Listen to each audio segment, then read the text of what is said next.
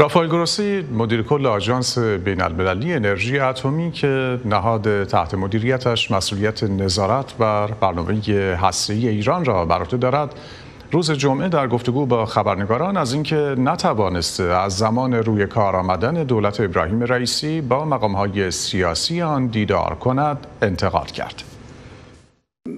That I have not had any contact with this government. در نظر بگیرید که من به غیر از صحبت فنی که چند بار با آقای اسلامی داشتم و صمیمانه بود هیچ تماس با این دولت نداشتم. با دولتی که بیش از پنج ماه است که روی کار آمده است.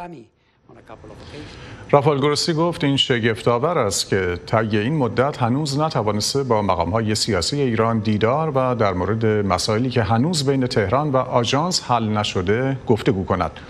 او بارها ابراز امیدواری کرد که بتواند پیش از اجلاس آتی شورای حکام آژانس در 20 دوم نوامبر با مقام های ایرانی دیدار داشته باشد و در کنفرانس خبری روز گذشته گفت از اینکه دعوتی از سوی ایران دریافت نکرده ناامید شده است.